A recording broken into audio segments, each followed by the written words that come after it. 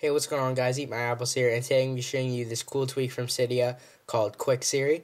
And basically, what this tweak does is enhances your Siri experience. So it works with uh, any Siri port, uh, Siri port, Spire, actual Siri on the 4S.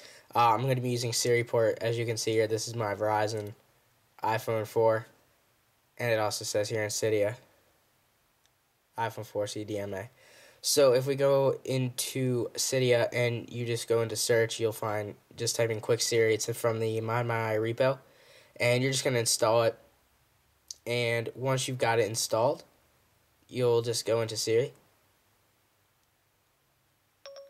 And uh, as you can see here, it makes your Siri full screen and also makes it come up a lot faster. So if you take a look here, it does come up very quickly. Just like that.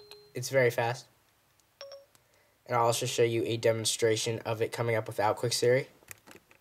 So here we've got Quick Siri uninstalled, and you'll see when we do activate Siri, it's a bit slower and uh, not as responsive.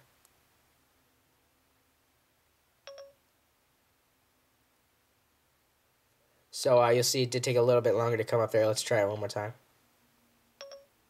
And uh, also you'll notice that it's not full screen. We've only got about a, a fourth of the screen down here with Siri and then the rest really is just like your it. faded icons and your wallpaper. So as you guys could see there, uh, it does make your uh, experience with Siri a lot faster and more enjoyable. Uh, full screen, a lot faster. So overall, Quick Siri is a good tweak. So that is it, guys. Thanks for watching.